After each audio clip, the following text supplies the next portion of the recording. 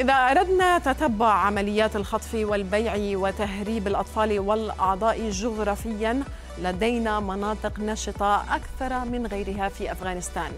مثلاً هرات، مزار شريف، قندهار، جلال أباد وحتى في العاصمة كابول. لكن لماذا هذه المناطق بالذات؟ عدا عن الفقر تحمل مرة أخرى الجغرافيا الإجابة.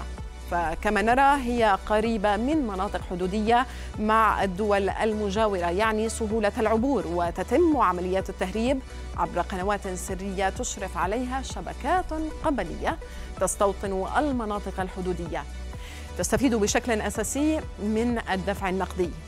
في الوجهة تشكل باكستان السوق الأكثر رواجا لتهريب الأطفال تليها إيران ودول آسيا الوسطى.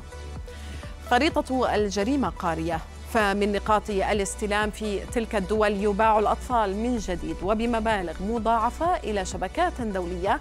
ويصل بهم الأمر في أوروبا أو بقعة أخرى من هذا العالم. وللإشارة لا يقتصر الأمر على أطفال أو أعضاء بل يتم تهريب المخدرات والقطع الأثرية أيضا من أفغانستان. واستغل المهربون ثغرة الفراغ الأمني في أفغانستان سيما تحت حكم طالبان. ولذلك شهدت البلاد ارتفاعا لافتا في نسبة بيع الأطفال. ومهما كانت دوافع عائلاتهم لبيعهم تبقى هذه قصة مؤلمة والأسوأ أنها لا تزال مستمرة.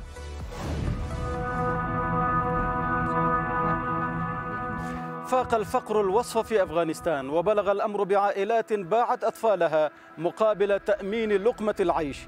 أنا أقف الآن أمام منزل أسرة في كابول عرضت بالفعل أطفالها للبيع.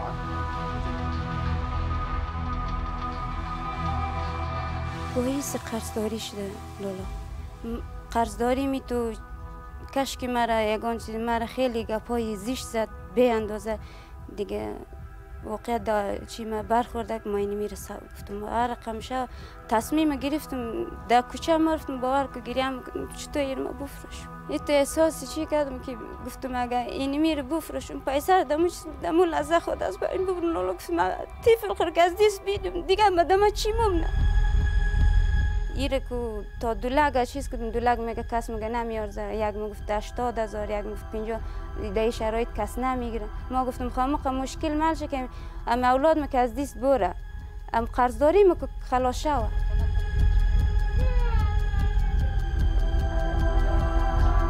ليس من الواضح مصير هؤلاء الأطفال. قد يقعون في أيدي تجار بشر يهربونهم إلى حيث لا يعلمون. ربما هم في طريقهم إلى رحلة موت أو مأساة.